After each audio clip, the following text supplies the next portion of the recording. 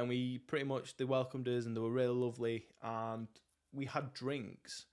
It was just like general chit chat.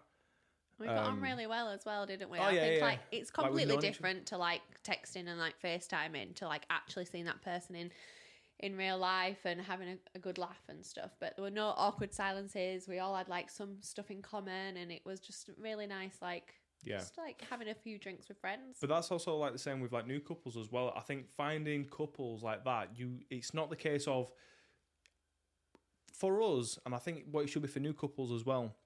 It's not about like, oh yeah, you're attractive, we like you, do you like us. There has to be a vibe there at the same time. The- You have to have more than just Yeah. attractiveness. Like, let's face it, we've been out and about and we've met some solid ten out of ten worldies, mm-hmm. but they've got personalities like cardboard, yeah. and and we kind of go, we can't vibe with that. No. Like, you ca- you don't get the same you chemistry. have like r- like fun. It's supposed to be fun and it's supposed to be like Yeah. a really good laugh and yeah. yeah. But there's much more to it than just having sex with someone mm. else. It's the it's a build up to it. It's the initial chat. It's the meeting up for the social. It's having the drinks. It's the the full conversation, and then that gets the the chemicals going in your body to mm. kind of go right. I'm ready to do this. Yeah. Not just in wham bam, thank you, ma'am, and then straight out of there. No. But yeah. So we um we're having this drink, and then he and obviously like you've had. I won't say too much, but you was riding the wave a little bit. Yeah, I'd had a few glasses of prosecco. and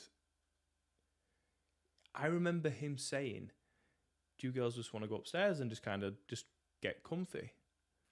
And again, my heart sank into my arsehole, right? And I'm like, "Fuck yeah, I want him to go upstairs." And so this guy's been in it for years. He knows the score. He knows the deal, everything, right? So you guys go upstairs and like he's talking at me, but I'm not paying attention whatsoever because I'm trying to listen upstairs. So I'm kind of like, yeah, yeah. It's like, when is it our turn to head upstairs? And Come I was- on, like, I'm getting to up. that. I'm getting to that part. So then you're kind of like giggling, giggling, and then it just goes quiet. And I'm like, oh my God, it's happening.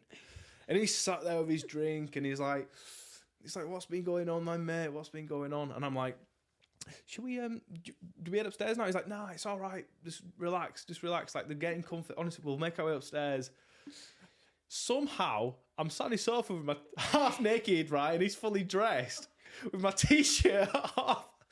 I'm ready to go, and he's like, he's like, Gage, honestly, he's like, just relax. Like we're gonna go upstairs, and I'm like, I know, bro, but what if like you know, like just I just want to get started and stuff like that. And I'm like, so yeah, half panicking, half excited, right? And he's like, all right, we'll go upstairs. So I walk into the bedroom with like my jeans and my top off, yeah, my shirt. He's fully dressed and lives like, well, I walk in and you're laying in the bed and she's pretty much like, she's gone down on you and you look like you're just absolutely loving it. And Olivia looks at me and all she says is, where's your shirt?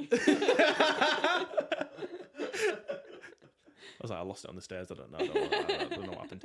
I, I don't know. Um, Got far too excited.